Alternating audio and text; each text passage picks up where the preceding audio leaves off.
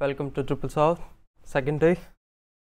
So today, uh, me and Gaurav will be discuss how we can simplify Drupal testing using Cypress and Cucumber. So I know you all are working in Drupal, so but you can also use Drupal to build a complex website, but testing is always a like I would say headache. I can just blast blast my head off if I'm going talking about the testing. So today we are trying to explore a new ways how we can perform the testing in Drupal. So our focus is more mainly uh, on Cucumber with Cypress. Cypress is a like another tool and Cucumber is also one more tool. So we are trying to achieve a new testing framework using Cypress and Cucumber. so throughout this presentation I'll try to share as much as examples and we will have a quick demo to understand how Cypress and Cucumber will work. So before going into the detail I just want to tell me about myself and the Gaurav will introduce himself.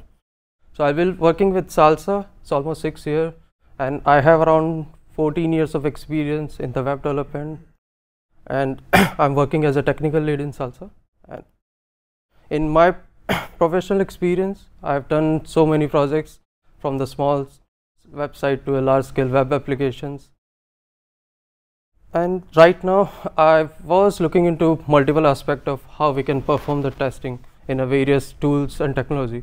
So this is this one is the like I got curiosity how we can use these front end framework in Drupal itself. So I'll let Gaurav to introduce himself. Thanks, Govind.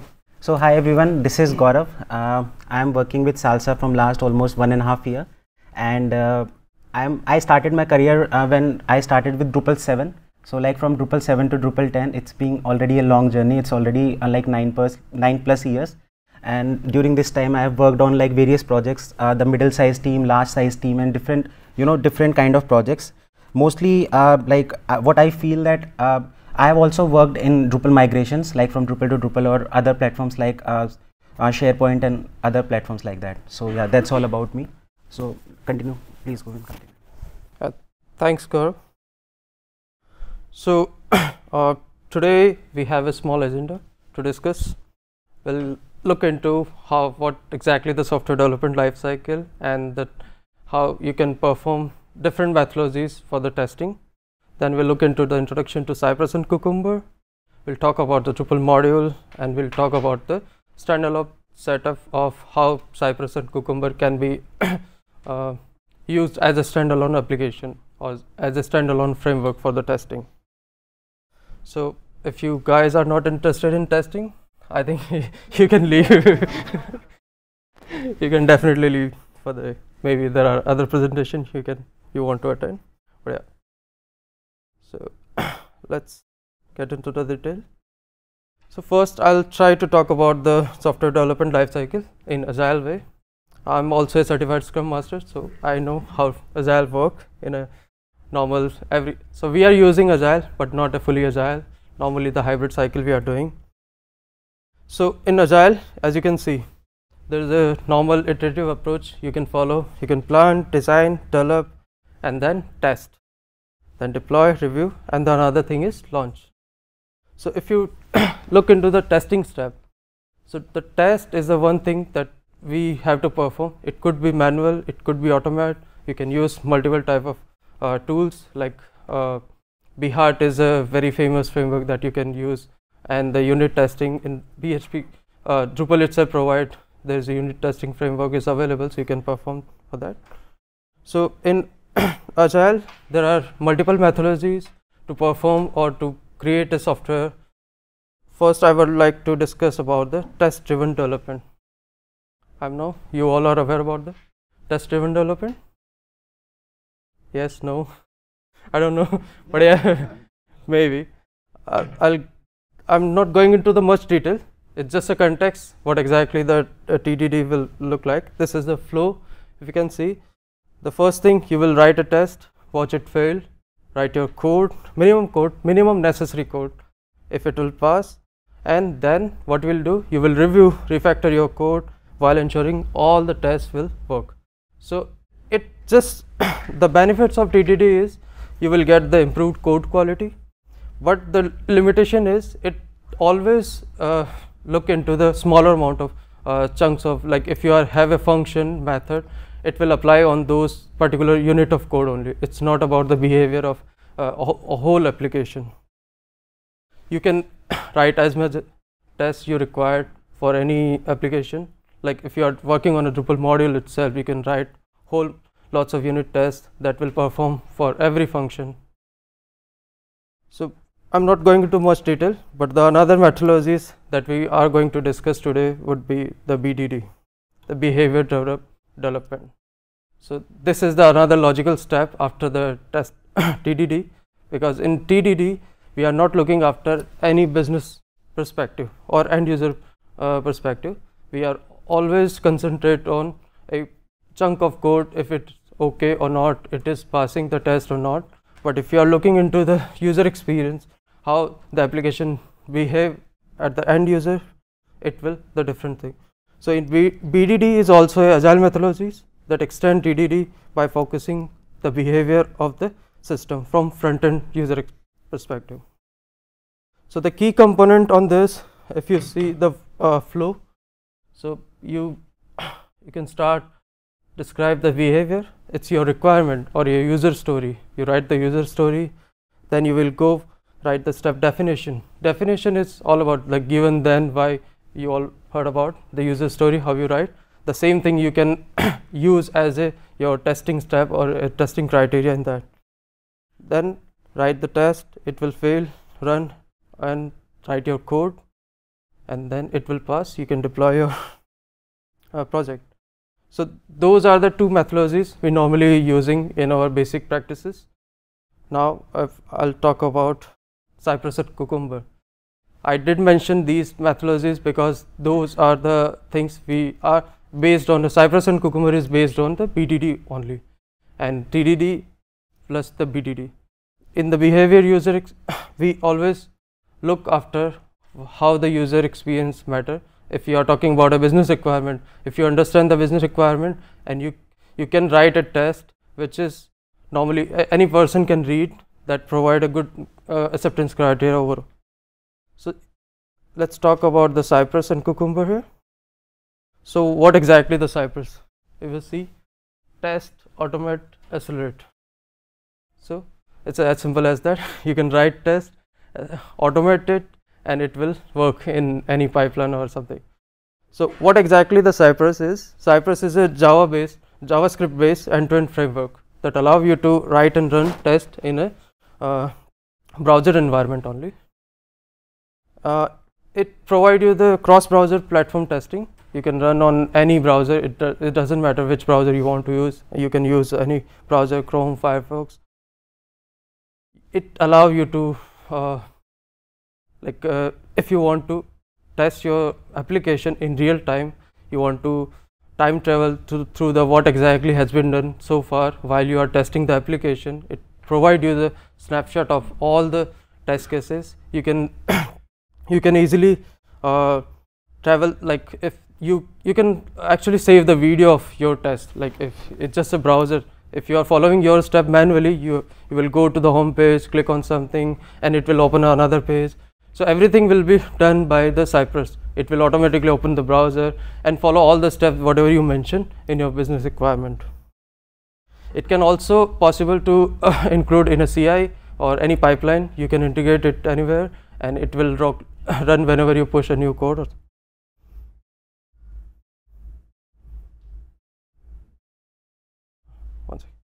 So why we should use the Cypress? Uh, I would say there are few benefits uh, you can see on the screen. Uh, first thing I mentioned about the time travel, debuggability, the automatic waiting, real-time reload, screenshot and videos and the consistent result. So what do you understand by the time travel that I mentioned? You can easily uh, allow user to see all the tests whatever uh, Cypress have performed. You can easily watch your videos. It will also allow you to uh, because it's a JavaScript framework. So uh, sometimes it happens that application have some AJAX calls or something. So you don't need to write a wait or something. It will automatically wait browser to load all the uh, required JS or CSS or all the DOM elements and then it will perform uh, further steps. You can also allow this application to real-time reload because uh, in real time you can just create your application and whatever you update in application it will automatically run test on the updated code. So these are the few benefits uh, that we should be using the Cypress. Then we'll talk about the Cucumber.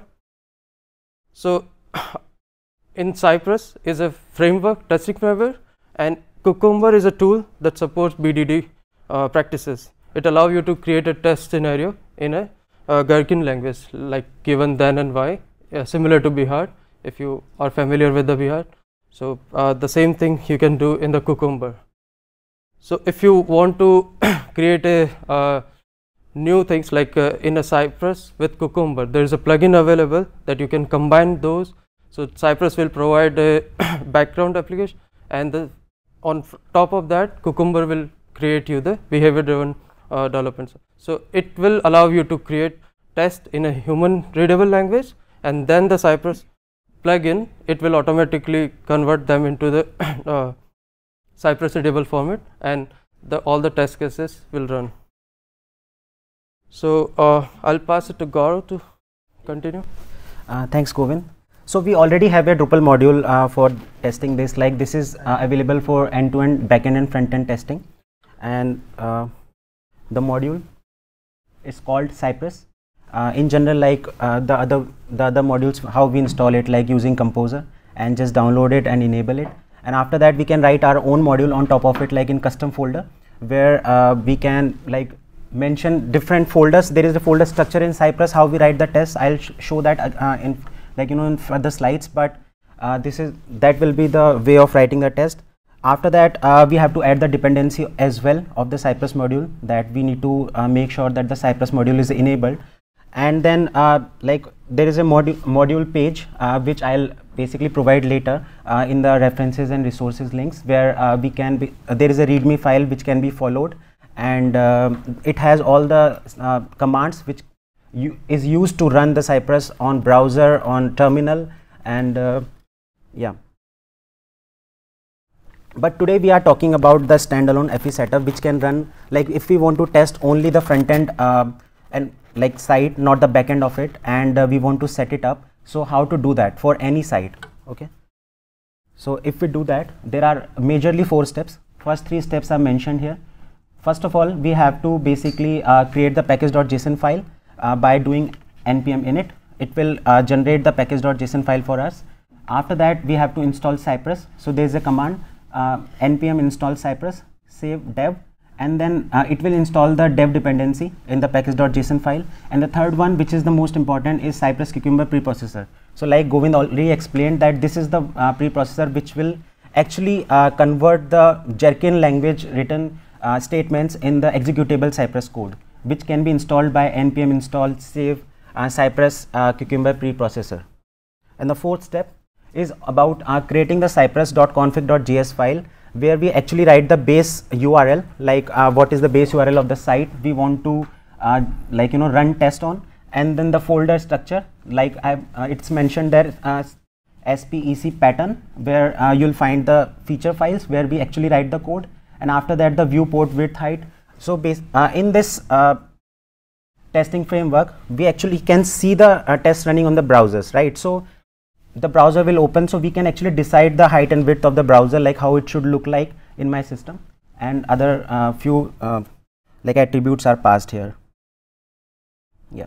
So this is how the folder structure looks like. Uh, first of all we have the test folder and then cypress. Inside that we have a few folders like fixtures integrations plugins and support each of them have different roles in the uh, like you know uh, cypress so fixtures where we can use the static data. So let's say if there is a site which is like dynamic and the data is changing uh, like every time when we run the test, so our test will always fail. Like let's say if we say that first test is this is Gaurav, but next time when I load the site, it's it's changed to this is Gaurav one. So the test will fail, right? So we have to uh, write stub basically a uh, network response and write the static uh, data so that every time my test will pass. So this is where we exactly do that. Then the integration where we run the actual tests. Then uh, this sc screenshots folder gets automatically created. Like when we run the test uh, all the screenshots of the uh, different pages get stored in this uh, folder. Plugin is to basically in, like modify and extend the internal behavior of the cypress. And support basically if we want to add the custom commands that can be used across the site so this is how the folder structure look like if we move to the next slide yes uh, there are few commands which come out of the box with Cypress. I have categorized them in three different uh, ways. First is parent command, child command, and the dual commands. So parent command is about like uh, cy.visit. If I want to visit any page, then uh, cy.get. If I want to get any data of any element in the DOM. So similarly like this. In child command, cy.click. If I want to click on any event, trigger, find, and the dual commands which has cy contains wait. If let's say uh, after a request uh, if we visit any page we want to wait for 5 seconds or uh, 2 seconds so we can mention cy dot wait. So it will wait for till that time and after that it will run the second command. So this is how it works. Few examples for this. Uh, the first one is so in general we write it like this. Create a board given i am on empty home page and similar like very much similar to other tests uh, in Gherkin language. And in the backend what is happening? That I am on the empty home page. So it is actually going to the home page cy.visit so this exact uh, command will be called. Similarly others. Few other examples. If we talk about the data driven uh, example we can pass the arguments like board name and later we can define the examples like board name is shopping list and rocket launch. So the same set of commands uh, starting from 3 to 7 will run twice because we have uh, defined two different um, like values for these variables and it will check both the tests and it will run uh, differently like the if it can happen that for the first one it can pass and for the second one it can fail. Working of array if we want to pass the data in array like milk, bread, butter, jam. So this is how the, in the backend it is done. It can it is very much customizable. We can write any uh, you know logic and we can uh, do any uh, statement and it will work accordingly. Hooks can be used. There are four major hooks here before before each after after each. So uh, for example if we want to run uh, like post statement before any uh, statement so this is how we define before and then it will always go to uh, API reset. It will send a post uh, like request there always before running any command. And then uh, if instead of before before each, then it will run before each statement. Do, similarly after and after each. Test tagging, just like uh, other test environments, we can tag our test. So there can be any number of tests and if our test uh, certain test is failing so we can tag it and we can run it like uh, uh, tag equal to and whatever tag we define there. Like here it is defined smoke. So yeah. So most important thing is how we actually launch the environment. So there are three uh, basically uh, dif different commands. First one is npx cypress open. So npx cypress open is used to run open the browser which actually opens the cypress tool and runs the command. So npx cypress open and npx cypress run. Run will run in the terminal. One more thing i want to mention is that we can also define the configuration variables where base urls can be defined with the username and password. So from the local code base any environment which is production known production environment can be tested directly from the local environment code base. So sometimes it happens that uh, like the test was passing in my local environment but it is not passing on the production environment so this is how we can test it that why it is not working on the production or non production. So let's go to the demo.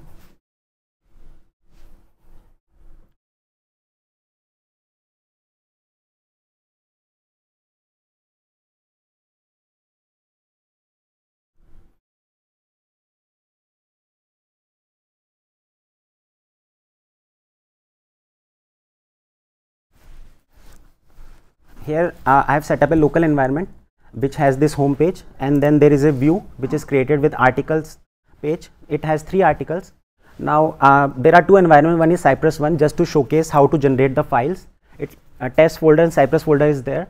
Now let's run the commands. So there are three commands which I mentioned. npm init, npm install Cypress and Cucumber preprocessor. So after running this, and fourth step I've already generated which is cypress.config.js file just to save the time. While generating this, it will ask for package name and other sort of uh, information. I'm just choosing the default one.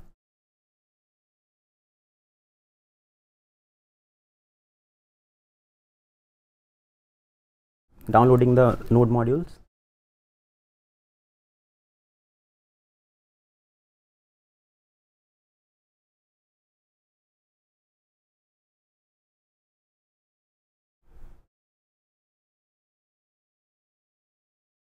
Yeah just to save time i'm just yeah. So package.json has dev dependencies created cypress and dependency as cypress cucumber preprocessor. Cypress config file is already there. Let's go to the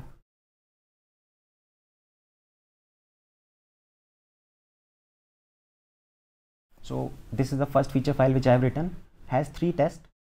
First one is about test login url with user user authentication second is i'm passing the argument. As i showed on the uh, in the example uh, the url is the home page and the articles page. And third one just to show that uh, if it test fails how it looks like. So the fail test user login is direct to dashboard.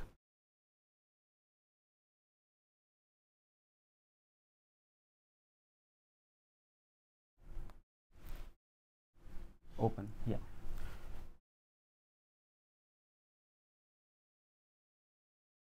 So it will open up a brow uh, Cypress tool.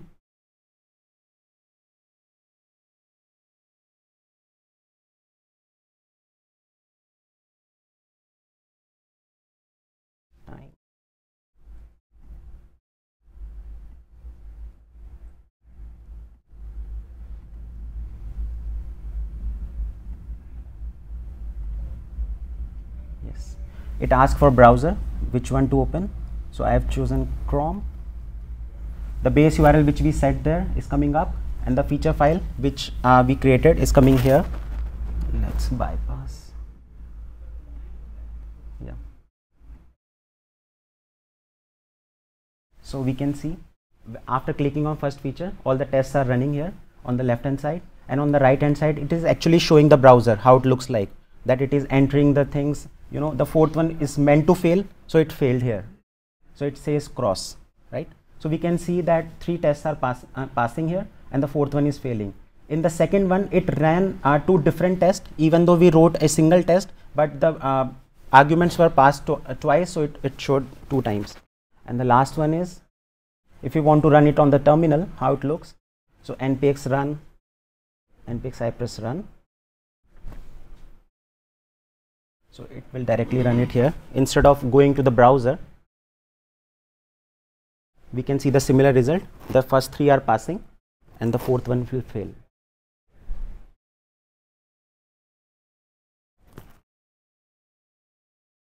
So so that's all.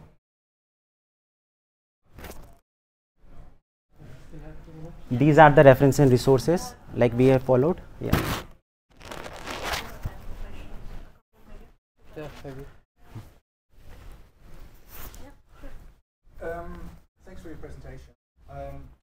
one thing you hear a lot uh, about um, Cucumber and Gherkin in particular is that because it's a natural pseudo-English language, uh, that it uh, fosters, uh, you know, uh, collaboration, etc. Do you actually have customers that come to you and say, "This, this is my Gherkin test that I want you to execute"? In other words, is, yeah. it, is it really true what people say that it fosters collaboration, or Probably. is that just blah blah. Sorry, maybe I can answer. Okay. it depends. Um, it actually depends a lot on the customer. Yeah. Having said that,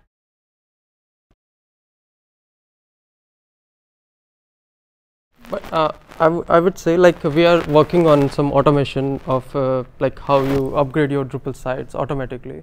So we are planning to achieve this because we can have these set of uh, rules using uh, these user stories. Like we can create a uh, these kind of tests and if these tests automatically pass we will trying to deploy everything on production. So that's why we are trying to get customer on board on these type of things so they can understand okay these are the tests have been passed.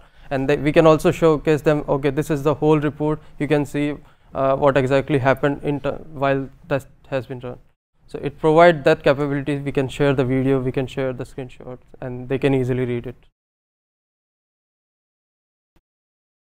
Um, I was interested when you were defining the yes. from Behat, given when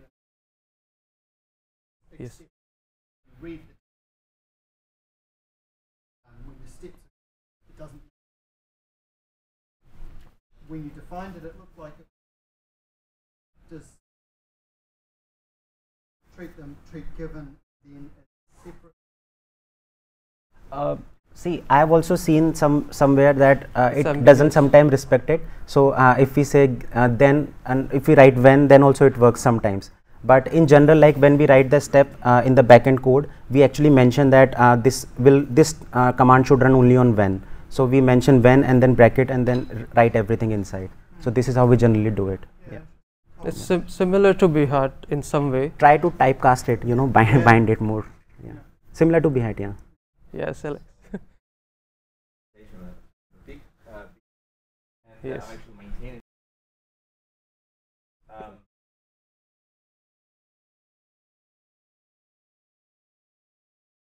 there is a lot. Uh, Yes. second question as well, performance. Behat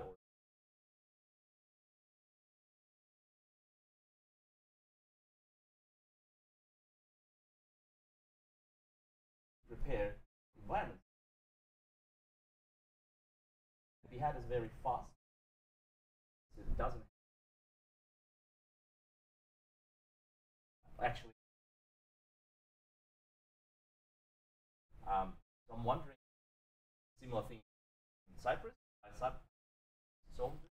Yeah. So uh, the first thing, there is a module available in uh, for the That- Cypress integration. that- yes, Cypress- the small. That, does that module have? The full definition that you are expecting the all the tests. So I, I'm aware that you did all the uh, trades for the different kind of Yeah, yeah, steps in Behat. So similarly, it's it's still growing, it's still evolving. So maybe we can uh, do similar stuff Yeah. on that. But it actually the uh, other thing is it depends on a browser. It's a mostly browser specific. Cypress uh, it front end uh, technology framework. It's not a back end. They provide us uh, API integration as well, so you can perform all the s- things that you are doing in Behat in any way. So, So if you are trying, yeah, you can you can do that. There's a c- commands available if you uh, use So this module. like what I'm looking for is the answer Drush. Is it Yes. Drush? Yeah, you can. other Yeah, Yes, just you can use that. So, so Drush. Yeah, yeah, you can because it's a module available. You can integrate it. There's a command So to perform. Cypress module, sorry, Yeah. module provides it. And Yes, Yeah. this command is available on that. Can You can extend that extend for to you. anything. Yeah. But we also provide a standalone framework because yeah. Okay. Yeah.